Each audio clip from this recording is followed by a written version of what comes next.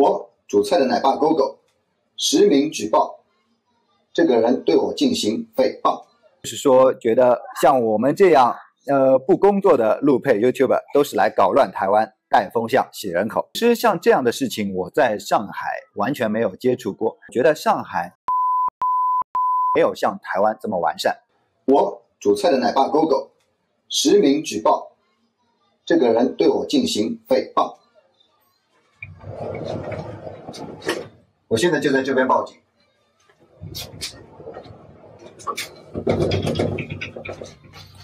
然后这个诽谤对我造成了非常大不好的影响，因为它会使人产生幻觉。我主菜的奶爸狗狗现在是来这边报警的，我要让大家知道，这个诽谤的人在镜头背后是一个什么样的形象。哼！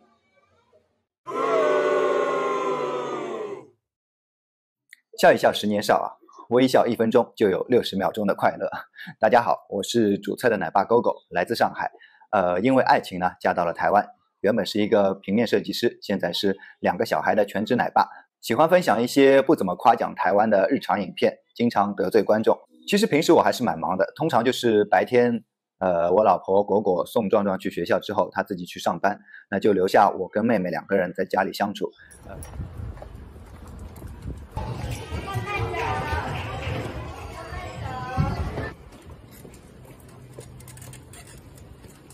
呃，需要出去买菜啊，然后做一些家务啊，还有带小孩这些事情。虽然这些事情并不是什么重体力活，但是如果有带过小小孩的观众一定知道。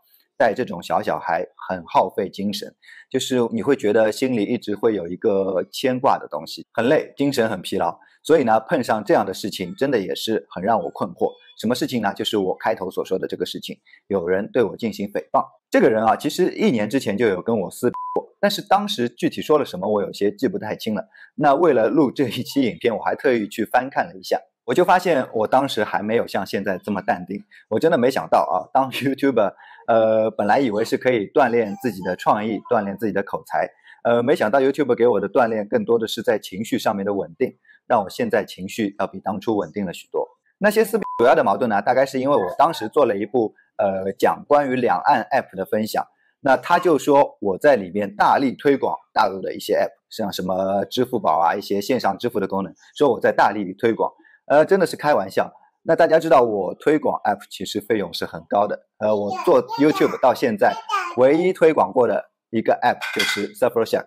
总之呢，撕扯到后来，我就把它封锁了。那过了很久时间，过了一年嘛，没想到这次啊，就是那个路配圈的百事通，就是在别人的一支影片下面，呃，发现他又对我进行了留言的诽谤。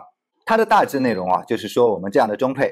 非常不单纯。他说，在一年多前有看到大姚带姚妈去高中跟学生交流，内容有提到什么中国爱用的 app，譬如抖音、小红书、微信、支付宝这些。然后他觉得中配所有影片的主题一致性很高。然后果然，他说过没多久就看到奶爸狗狗也做了一集讲那些中国的 app。然后他就自己说了啊，他在别人的影片下面提到了。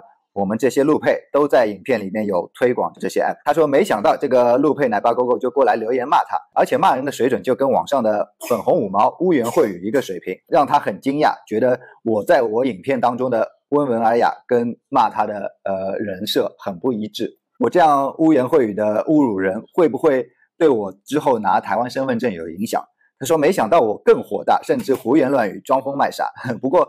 呃，他说我当下忘记切换账号，然后隔天我就删除了过激的那些留言，而且他还说他对这些留言有截图进行保存。他说看来这些中配都是有网军支持，然后骚扰像他们这些揭露者的。然后呢，他就把他的留言引到了一些极端人士非常认可的话题上面，就是说觉得像我们这样呃不工作的路配 YouTube 都是来搞乱台湾、带风向、洗人口。然后他还说到像这次总统大选。立委选票赢的并不是太多，就是因为有我们这样中国籍的配偶在这次啊选举战中发挥了相当大的影响力。我我我不知道这影响力发挥在哪里。如果我们真的呃有有这样一个组织给我们下达任务，我们这样的 KPI 估计早就被炒鱿鱼了吧？这次选票的差距大家也知道差多少。那这样说啊，其实像这样的事情，我在上海完全没有接触过，就是对个人名誉进行诽谤这样一个事情。因为第一，我在上海没有做自媒体，所以不会接触到这样的事情。那第二呢，我觉得上海。呃，相关侵权啊、名誉这方面的法规没有像台湾这么完善。我是说真的，没有这么完善。就是像我们广告圈里边，呃，骗稿这样的行为还时有发生。那对一个像我这样区区只有两万多订阅数的人来说，这个侵害我的名誉真的是非常小的事情。我估计警察都不会去管这么小的事情。那还有第三点，我为什么在上海不会去报警？就是因为我在上海非常害怕警察，因为 我如果之前有看过我内容的话。呃，知道我有一期里面讲我在地铁里面被查身份证，然后遭受到了比较不公的待遇这样的事情，所以我很怕上海的警察。那就是以上这些原因呢，我对于诽谤的这个定义其实并不是太清楚的。那我这里就刚好想到了我之前在台湾拜的一个老大，也就是海基会，因为海基会有跟我说过，他们提供免费的法律援助。而且不光是针对像我们这样的陆配身份，针对一般的台湾市民都是提供免费的法律援助，只要你打电话去求助就可以了。所以这次呢，我就直接拿起电话打了海基会的呃法律求助热线，然后也非常感谢他们给了我一个呃明确的解答，让我了解清楚了诽谤的这个定义。你的目的其实不是要钱的话，也许走诽谤会快一点，因为这样子就直接警察去查 IP 了。嗯嗯嗯。那那要达到什么程度才算诽谤呢？就是明知不实而嗯而散布，而且这个内容是嗯，就是说基本上就是明知不实，而且是有损人家的名誉嘛。嗯嗯嗯嗯嗯，对呀，而且陈述的是一个事，而不是说谩骂。就是说我如果今天在网络上骂你，我就随便举例，我就这骂。对对对对对对。假如我骂你说啊，你是你是个王八蛋，是个畜生，但是我没有讲后面的故事哦。嗯嗯嗯嗯嗯。我就这种单纯的谩骂就是侮辱嘛。嗯嗯嗯。但是我如果像他这样子，他讲了一个故事，对对对，你做过什么什么，对对对，会让人产产生对你有不良的印象，那这个应该就是诽谤啊，有点有点差别了。嗯嗯嗯嗯，了解了解了，并且之后我真的是一鼓作气，马上进行了网络报案。我觉得这件事情，但凡中间妹妹闹一闹啊什么的，插入一下，打断一下，我可能就没有这个精力，没有这个。这个能量去把这件事情就报警这件事情进行下去了，因为这个真的好像要一鼓作气去完成它。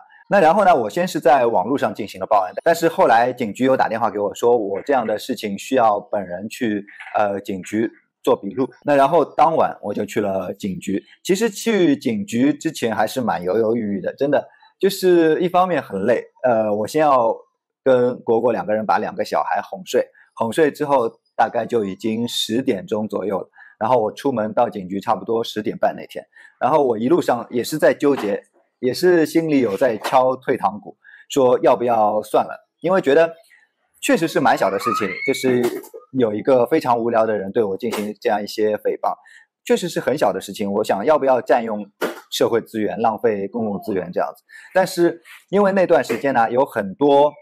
呃，类似于网军还是这样极端的人士，有非常多在我这里进行这样这样那样的非常让人讨厌的留言，所以我就一想，呃，杀鸡儆猴也好嘛，就是要给一些比较极端的人有一个警告，不能让他们太无法无天。然后那天去警局录笔录呢，确实时间蛮晚了，那个警察也是。蛮疲劳的，所以那个过程非常长，大概进行了一个半小时。总之，我从警局出来已经十二点多了，好像。呃，然后那个警察 还问我是不是网红，我说我我要怎么定义网红？我应该不是吧？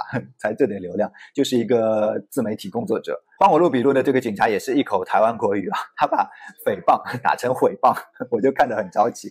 然后最后登录身份的时候，呃，他一直把我的那个证件号登不进去。然后他就去询问另一个警察，那个警察就说他是外籍人士，又不是本国人士，那个身份要选择外籍人士，就是反正那个过程很久，真的，我从警局出来就觉得，哎，早知道这样就就不要搞得那么累了，就算了吧。看我后面啊，人权两个字，人权。嗯，网络不是化外之地，呃，言论自由不是可以胡言乱语，所以对，呃，一位。之前已经被我拉黑的观众，然后他在其他的频道下面对我进行留言诽谤，那我进行了一个呃警署的录笔录啊。其实录笔录之前我纠结了很久要不要来，因为很累，真的很累。现在已经十二点了，那大概就是这样一个过程。鸡是杀了，猴子能不能禁住，我是不知道的，现在还没有结果。但是我觉得呢，经过这段时间，我自己的内心又更比之前强大了一点。呃，现在真的如果再发生这样的事情，我可能完全不会浪费时间、浪费精力再去经历这么麻烦的一个报警的过程了。呃，除非他实在太过分了。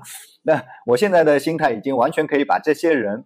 当猴来看待了，真的是像在耍猴戏一样，就是很可笑。反正目前我已经把之前所有封锁的人都已经清空了，就现在没有一个封锁的人。因为我发现封锁这个事情，就是只能禁止他对我进行留言而已。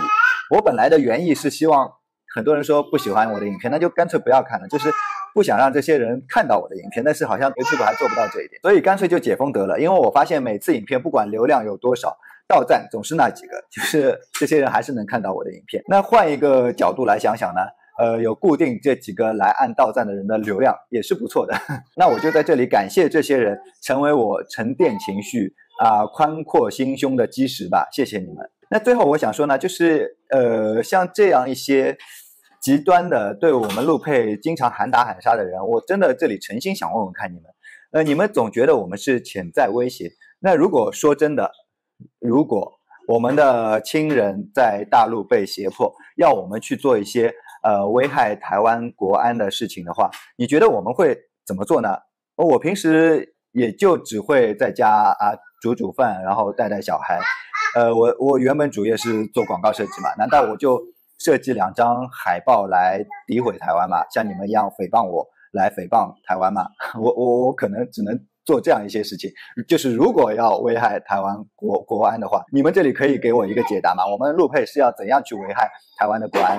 台湾是没有法治的嘛？说到危害台湾的国安，说到潜在威胁，我建议你们有精力对我们喊打喊杀，不如去对一些不是潜在威胁，是已经冒出水面的威胁，而且是威胁到台湾未来的这样一些可恶的人、十恶不赦的人去喊打喊杀。像这次地震，把之前那个。儿福会虐打儿童的新闻都已经掩盖了，那个新闻后续我不知道怎么样。呃，儿福会里边到底有没有问题？那些社工到底有没有问题？还有现在黄子佼这样的事件，这样一些已经冒出水面的威胁，对台湾未来的威胁，这些人你们去对这些人喊打喊杀好不好？这才是很严肃的一个社会需要消除的问题，好吗？